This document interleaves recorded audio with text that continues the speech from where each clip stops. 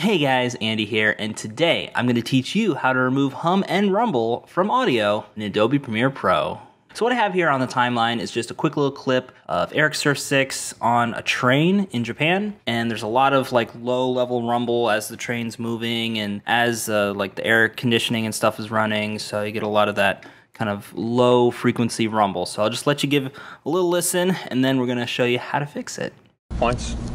Another.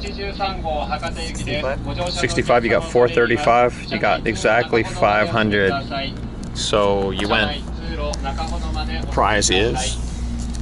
Okay, so this is actually a very simple fix. So what we're gonna do is we're gonna go into our effects, go to audio effects, and then go down to parametric equalizer. I'm just gonna drag that onto here, and then we'll just go to edit, and then as you can see, we can adjust a bunch of different frequencies. We have a low frequency shelf and a high frequency shelf. Uh, we'll just go up here to presets, and then we'll go to high pass. And this can generally remove a lot of that low level rumble that's caused by air conditioning, in this case, moving train, and just a lot of that kind of low rumble stuff. You see this a lot in like cities. So if you want to eliminate that kind of low level rumble, this is a very easy way to do it. And of course from here you can kind of tweak it and peak it if you want to, but generally this is more than enough to eliminate that. So now we're gonna go ahead and listen to how it sounds with it on.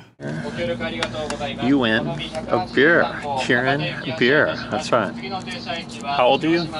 18. Oh, too bad. The drinking age in Japan is 20. And so, as you've heard, the background low level rumble, hum, and all that kind of stuff has been eliminated. You can go into this a bit further by tweaking the equalizer settings. You can also add an adaptive noise reducer if you'd like, but this is just the general basic way to eliminate just that background rumbly noise. So, yeah, that's how you can remove hum and rumble from audio in Adobe Premiere Pro. If you like this tutorial, be sure to give it a like and subscribe for more tutorials. And if you have a question about Adobe Premiere Pro, be sure to leave it in the comments down below, and your question could be the next tutorial. This is the Andy San, sign out for now, and as always, we'll see you next time. Bye guys.